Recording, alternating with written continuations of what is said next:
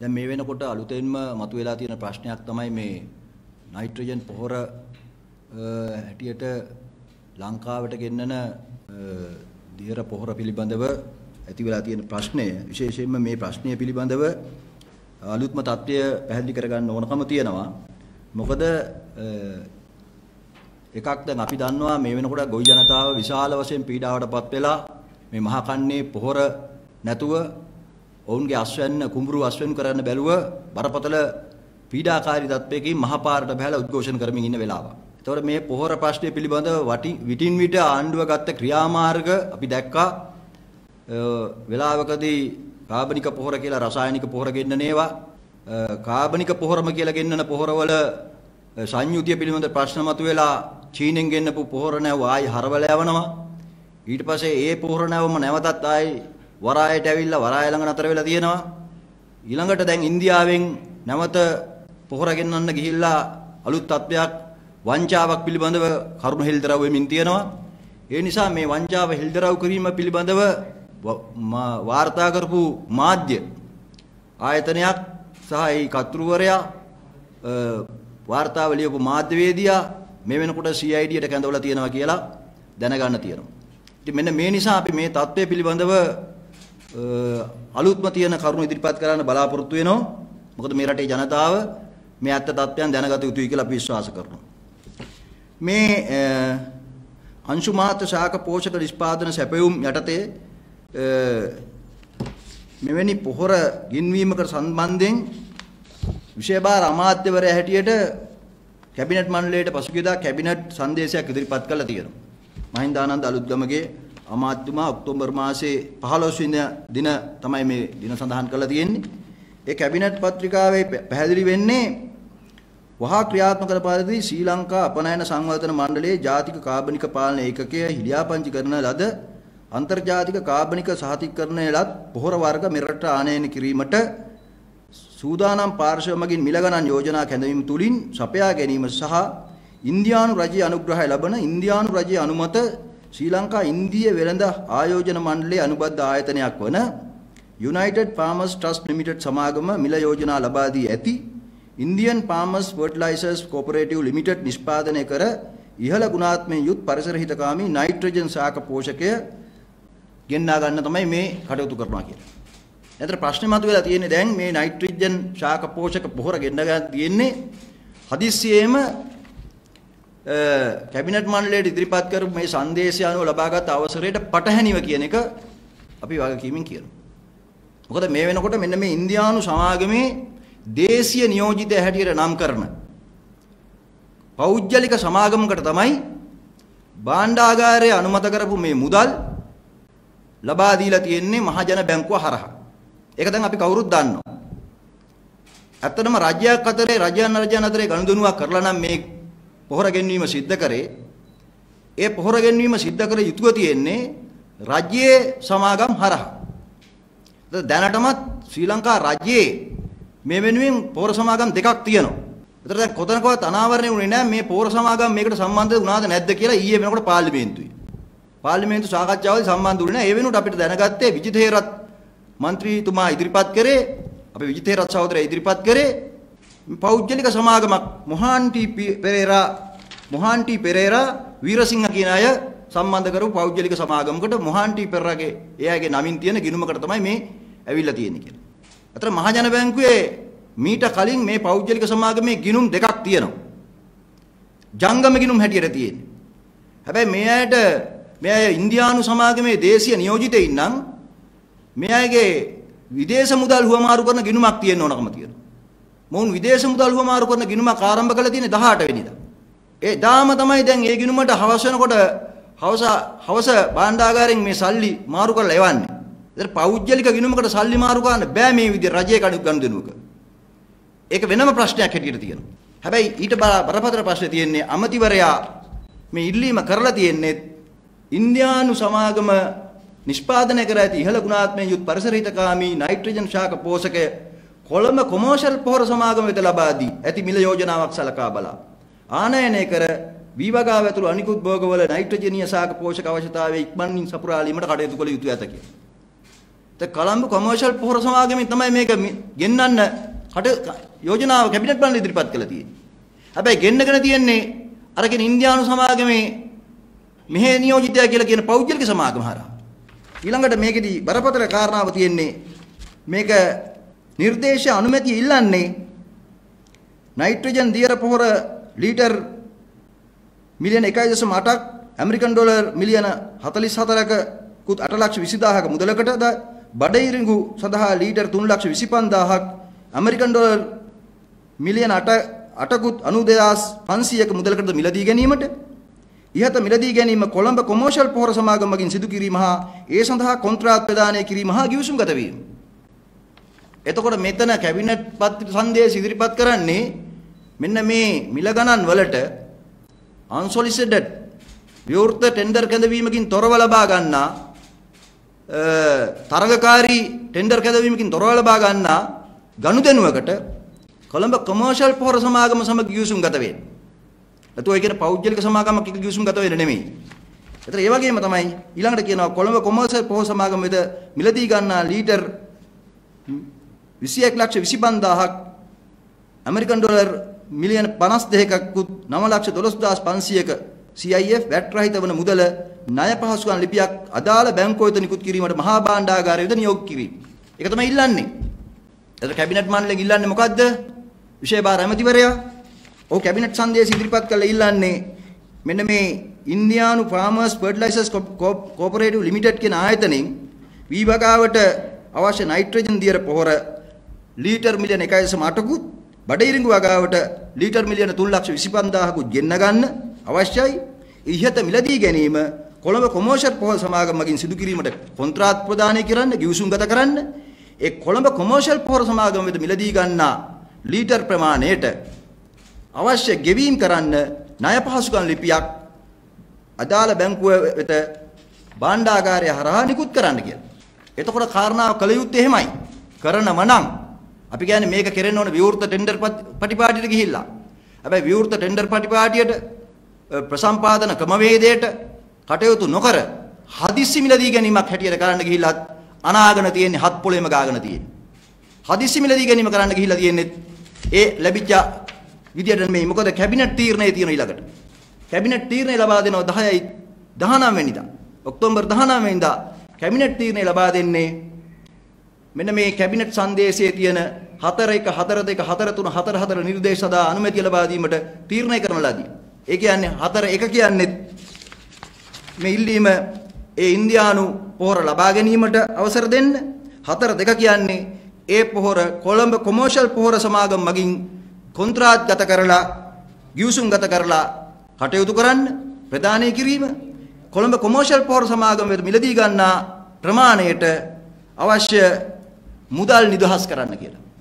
එතකොට අපි අපි දැනගන්න කැමති දැන් මේ රටේ ජනතාව දැනගන්න කැමති එහෙම කරපු ගනුදෙනුව කොහොමද අර ඉන්දියානු සමාගමේ දේශීය නියෝජිතයා කියලා කියන එදාම දැන් මේ මේ මුදල් පාස් වෙන දවස වෙනකොට බැංකුවේ ගිණුමක් ආරම්භ කරන්නේ විදේශ මුදල් හුවමාරු ගිණුමක්. දැන් බරපතල ප්‍රශ්නයක් තියෙනවා. ඊළඟට ඊළඟට මතුවෙන කාරණාව තමයි මේ මේ කැබිනට් පත්‍රිකාව අනුව කැබිනට් තීරණය දැනුම් දෙන්නේ අමාත්‍ය මණ්ඩල තීරණය දැනුම් දෙන්නේ 10 19 වෙනිදා.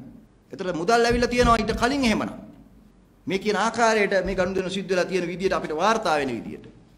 දැන් ගැටලු ගණනාවක් මතුවෙනවා මෙන්න මේ ප්‍රශ්නේ නිසා මේ කැබිනට් පත්‍රිකේ තියෙන කාරණාවට අනුව කැබිනට් තීරණයට අනුව නෙමෙයි මේ ගනුදෙනුවත් සිද්ධ වෙලා තියෙන්නේ. මේ ගනුදෙනුව සිද්ධ වෙලා තියෙන්නේ. ඒක බරපතල කාරණාවක්. ඊළඟට ප්‍රශ්නේ තියෙන්නේ දැන් මේ අදාළ ගෙවීම කරන්න ඒතර කැබිනට් මණ්ඩලයේ තීරණය කරපු මුදල එහෙම නැත්නම් කැබිනට් මණ්ඩලය මේ මුදල තීරණය කරන්නේ ආකාරය ගැන පැහැදිලි කිරීමක් අවශ්‍යයි රට. මේ රටවල් දෙකක් අතර මේ සමාගම් දෙකක් අතර මේ ගනුදෙනු සිද්ධ වුණේ මේ කොහොමද මේ යෝජනා ආවේ? මේ ආයතනෙන් විතරක් මේ යෝජනාව ගෙන්න ගත්තා නම් ඒ යෝජනාව සාධාරණීකරණය වෙන්නේ කොහොමද? මොකද අපි දකිනවා මේකේ මේ ප්‍රසම්පාදන ක්‍රියාවලියට අදාළව පත් කරපු කමිටුවේ වාර්තාවේ තියෙන්නේ කැබිනට් අපොයින්ටඩ් ප්‍රොකියුමන්ට් කමිටි එකේ වාර්තාවේ තියෙනවා කරුණු ගණනාවක්. ඒ කරුණු ගණනාව එකක් යට තියෙනවා මේකේ ඒ අදාළ සමාගමත් එක්ක Indian Farmers Fertilizer Cooperative Limited කියන මේ සමාගමත් එක්ක එකඟතාවයට එනවා කියලා ඩොලර් 710ක් ප්‍රමාණයක් මිල අඩු කරලන්න. ඒතර මේ එකඟතාවය ඔවුන් ඉදිරිපත් කරපු මිල ගණන් අනුව අඩු වෙලා තියෙන්නේ ඩොලර් 710යි. එතකොට මේ ඩොලර් 710 විතරක් අඩු කරලා ගන්න තරම් හදිස්සියක් තිබුණේ මොකද? ඒ හදිස්සිය මේ පෝර සැපීම වෙනුවෙන් නම් තියෙන්නේ. ඊළඟට ඒ ඒ මේ ඩොලර් 710ට විතරක් අඩුවෙන් අරගෙන මේ ගනුදෙනුව කරන්න මේ සමාගමේයි කියන මේ මොහන්ටි පෙරේරා වීරසිංහ ඇතුළු මේ දෙන්නෙක්ගේ ගිනුමක් මෙහි පාවිච්චි කරේ මොකටද? ඒතර බරපතල ප්‍රශ්නේ ඒ ගිනුමට යොදාගත්ත සල්ලි ඔවුන් බලපෑම් කරලා නැවත රුපියල් වලට මාරු කරන්න කියලා තියන්නේ ඇයි? මොකද ආණ්ඩුවේ මුදල් මේවා මහ ජනතාවගේ මුදල්. ඒතර ඒ මුදල් ඉතුරු වුණා නම් ඒ ඉතුරු මුදල් නැවත රුපියල් වලට හරවා ගැනීම උවමනා මොකද්ද? එතකොට එයයි කියන තර්කය තමයි මේ අනිකුත් මෙහි තියෙන ලියකියවිලි වලට තමයි ඒ කටයුතු කරලා තියෙන්නේ කියලා. ඩොලර් ලක්ෂයක් මාරු වෙනවද ඩොලර් 325000ක ගනුදෙනුවකට? පෝර වලට ගෙවන්නේ ඩොලර් 325000 නම්. එතන ඩොලර් ලක්ෂයක් රුපියල් වලට මාරු කරන්න කියලා මොන මොන උවමනාවකටද? ලියකියවිලි වලට යනවද ඩොලර් ලක්ෂයක වියදමක්? මේ මුළු මුදලම ගිනුමේ තිබිච්ච ඒවා මාරු කරන්න බලපෑම් කරලා තියෙනවා. ඉතින් මේවා මෙරට දැනගන්න ඕන. මොකද අපි දන්නවා මේ මෑත කාලේ ඉතා කෙටි කාලයක් තුල සුදුලුණු ගනුදෙනුවක් සිද්ධ වුණා. සීනි වංචාවක් සිද්ධ වුණා. පොල් තෙල් ගනුදෙනු සිද්ධ වුණා. ගෑස් ගනුදෙනු සිද්ධ වෙලා තියෙනවා. මේවයි හරියට තොරතුරු අපේ රටේ තවමත් නැහැ. මේ රටේ ජනතාව අද බඩගින්න ජීවත් වෙන්නේ. දවස ගානේ බඩු මිල ඉහළ යනවා. ආර්ථිකේ බංකොලොත් වෙලා තියෙනවා. රටේ ව්‍යාපාරිකයින්ට දේශීය වශයෙන් ව්‍යාපාර කරගෙන යන්න බැරි මට්ටමක් ඇති වෙලා තියෙනවා. එහෙම තියෙද්දි අද මේ හැම අර්බුදයකින්ම රටේ නිර්මාණය වෙන හැම අර්බුදයකින්ම හොරකම් කරන ඒ සඳහා ආණ්ඩුවේ දේශපාලන අනුග්‍රහය ගන්න කැබිනට් මණ්ඩලයේ තීරණ තීරණ ගන්න මට්ටමකටපත් වෙලා තියෙනවා. අද කැබිනට් මණ්ඩලයේ තීරණ තීරණ Tamanට ඕන විදියට අරගෙන ඒව Tamanට ඕන විදියට ඊට පස්සේ ව්‍යාපාර කරන තත්යකට රටේ මුදල් මහ ජනතාවගේ මුදල් පාවිච්චි කරන තත්යකට ඇවිල්ලා තියෙනවා. ඒක තමයි තියෙන ප්‍රශ්නේ. අපි දැක්ක සමහර මාධ්‍යවල වාර්තා කරනවා ගේන ගුවන් යානේ ඉඩමදි නිසා ඕඩර් කරු ප්‍රමාණයට වඩා අඩුවෙන් ගෙනාවා. ඉඩමදි නිසා ඊට පස්සේ ගෙනාපු ගානට සල්ලි ගෙව්වා කියලා. එතන මේක හරියට මේ අපි ගමේ කඩේකට ගිහලා බඩු ගේනකොට අපි වාහනයක් ත්‍රිවිල්ලයක් අරන් යනවා වාහනේ ඉඩ නැති හින්දා කවුරු ඉතුරු බඩු ටික දාගෙන මුදලාලිගෙන් සල්ලි ටික මාරු කරන් එනවා වගේ වැඩක් මේ කතා කරන්නේ. එහෙම ගනුදෙනුද මේ? මල්ලේ ඉඩ තියෙන ප්‍රමාණයට ගේන බඩුද මේවා? එතකොට මේ මේ මේ පෝර ගේනවනම් පෝර ගේනකොට ඇස්තමේන්තු කරේ නැද්ද කොච්චරද මේක ගේන්නේ කියලා? ගේන ප්‍රමාණයට විතරක් මුදල් වෙන් කරගන්න ක්‍රමයක් නැද්ද?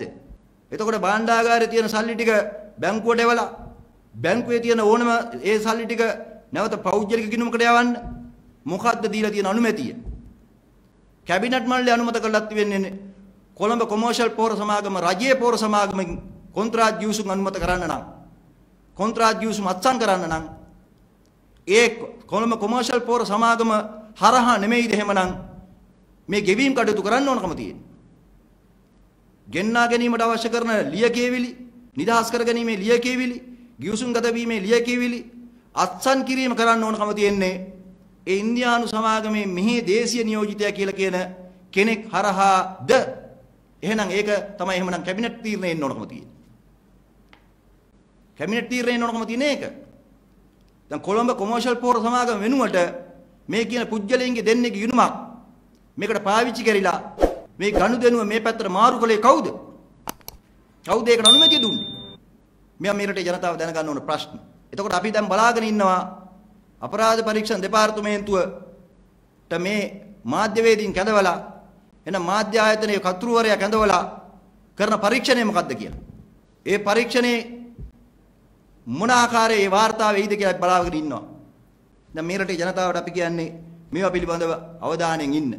අද මේ රටේ අපි මාධ්‍ය ආයතන වලින් මාධ්‍යවේදීන් ඉල්ලා හිටනවා මේ අර මුළු සමාජයේම මුළු රටම ආර්ථික වශයෙන් වලකට ඇද දාලා තමන්ගේ මඩිය තර කරගන්න තමන්ගේ ව්‍යාපාර තර කරගන්න තමන්ගේ බිස්නස් එක බවට ජනතාවගේ අර්බුදය ජනතාවගේ ජීවත් වීමේ අර්බුදය තමන්ගේ බිස්නස් එක ව්‍යාපාරය බවට පත් කරගෙන තියෙන මේ ආණ්ඩුවක් ඒක තමයි අපිට මේක පේන්නේ ඒක තමයි මේ ගනුදෙනු හරහා සම්පූර්ණ වශයෙන් අපිට දකින්න පුළුවන්කම තියෙන්නේ. විශේෂයෙන්ම අද මේ සිද්ධ වෙන ක්‍රියාවලිය ඇතුලේ අපට පේනවා මේ ගෙවීම් කරපු ආකාරය මේ මුදල් බැංකුවට ගෙනාපු ආකාරය ඊට පස්සේ මේ මේකේ කටයුතු සිද්ධ වෙලා තියෙන ආකාරය ඊටාම වංචනික ක්‍රියාවලියක් මේක තුල තියෙනවා කියලා. මේ වෙනකොට මේ මුදල් කෝටි 29ක් ඒ කෝටි 29න් දැනට පෙරයිද වෙනකොට මේ ගිණුමේ ඩොලර් 960000ක් ඉතුරු වෙලා තියෙනවා. ඩොලර් 325000ක් වියදම් කරලා තියෙනවා. ආසන්න වශයෙන් ගත්තොත් එimhe මේ ප්‍රමාණය අපේ රටේ බරපතල වංචාවකට ගමන් ගියපු ගමනක් අවසානයේ යම් ප්‍රමාණයකින් දැන් මේ ගිණුමෙන් නතර වෙලා තියෙනවා. නමුත් මේ පිළිබඳව විධිමත් පරීක්ෂණයක් අවශ්‍ය වෙලා තියෙනවා. මොකද අපි දැක්ක මාධ්‍ය වල වාර්තා කරන ආකාරයට මහජන බැංකුවේ සභාපතිවරයා පවා කියනවා මෙවැනි ගිණුමක මේක ආකාරයේ කටයුතු සිද්ධ වෙන දේ පිළිබඳව ඔහුත් යම් අවබෝධයක් තිබුණ නැහැ කියලා. ඒතර මේ සුළුපටු ගාණක් නෙමෙයි. ඩොලර් මිලියන 1.2යි 8යි 2යි 8ක් මේ මේක මේ ආකාරයට කටයුතු වෙනකොට ඒවා මේ රටේ මහ ජනතාවට වගකීමෙන් සිද්ධ වෙන්න ඕන කාරණා. ඒ හින්දා අපි CID පරීක්ෂණය ආණ්ඩුවේ පරීක්ෂණයක් නොවි මේ සියලු කාරණා සැලකිලිට ලක් වෙලා සිද්ධ වෙනවද කියන කාරණාව අපි බලාපොරොත්තු වෙනවා මේ රටේ ජනතාවට දැනගන්න අයිතියක් තියෙනවා. මොකද මේ මේ වංචාවන් සිදු කරන අය පැත්තකට ගිහිල්ලා ඒ වංචා සිදු කරන අය අධිකරණ ඉස්සරහට ගේන්නේ නැතුව ඔවුන්ට දඬුවම් දෙන්නේ නැතුව අපට පේනවා දැන් මේව වාර්තා කරන මාධ්‍ය පස්සේ හඹාගෙන යන ආකාරයක්. මේ පෝරවල ගුණත්වය මේ ගෙනල්ලා තියෙන පෝර ගොවි ජනතාවට ගැළපෙනවද? ඒවා යොදවන්න පුළුවන්ද? කියන කාරණා වෙනම කාරණා හැටියට තියෙනවා. ඒවා මේ මේ පොළොවත් එක්ක ගැළපෙන පෝරද කියන කාරණාව වෙනම කාරණාවක් හැටියට තියෙනවා. අපි දැක්කා මේ කියන නයිට්‍රජන් පොහොර පිළිබඳව පරීක්ෂණයන් කළා මේවා හොයාගෙන 2010 දී මේවා ඉදිරිපත් කරපු විද්‍යාඥවරිය ඉන්නේ ලංකාවේ. එතුමිය ඉදිරිපත් කරපු වාර්තාවෙන් එදා ඒවා බාරගත්තා නම් මේවා නිෂ්පාදනය කිරීමේ හැකියාව තියෙන්නේ අපේ රටේ. නමුත් අපේ රටේ කෘෂිකර්ම අමාත්‍යාංශයවත් ඒ අදාළ නිලධාරීන්වත් ඒවා එදා බාරගත්තේ නැහැ. ඒ නිසා ලංකාවේ හදපු ආකාරයට නෙමෙයි අද ඉන්දියාවේ ලංකාවේ විද්‍යාඥවරිය හොයාගත් ආකාරයට නෙමෙයි අද ඉන්දියාවේ මේ නිෂ්පාදන සිද්ධ වෙලා තියෙන්නේ. ඒවා පරස්පරතා ගොඩක් තියෙනවා. ඒවා අපිට වෙනම දකින්න ඕන කාරණා. අපේ රටේ ඉන්න බුද්ධිමතුන්ගෙන්, අපේ රටේ ඉන්න උද්ගතුන්ගෙන්, අපේ රටේ තියෙන මානව සම්පතෙන් ප්‍රයෝජන ගන්නති රටක්. ඒවා විදේශවලට ගිහිල්ලා ඒ අයගේ වෙළඳ උවමනාව වුණාට පස්සේ, ඒ අයගේ ව්‍යාපාර වුණාට පස්සේ ඔවුන්ගෙන් මිලදී ගන්න මට්ටමට පහළට වැටිච්ච රටක් බවට අපිපත් වෙලා තියෙනවා. ඒක ඛේදජනක තත්ත්වයක්. ඒක අපි වෙනම සාකච්ඡා කළ යුතු කාරණාවක්. නිසා මේ ගනුදෙනුව පිළිබඳව සමස්තය රටේ ජනතාවට එල්දරව් වෙන්න ඕන. මොකද ජනතාව පෝරෙල්ලද්දි ආණ්ඩුවේ පෝර වලින් මෙතරම් විනිමය අර්බුදයක් තියෙන රටක ඩොලර් සංචිතේ හිඳමින් තියෙන රටක අපේ රටේ තියෙන ඩොලර් ටික හොරගම් කරන වංචා කරන මට්ටමකට පත් වෙලා තියෙනවා නම් ඒක මේ රටේ ජනතාවට ඔප්පු වෙන්න ඕන හෙල්දරව් වෙන්න ඕන කියලා අපි විශ්වාස කරනවා.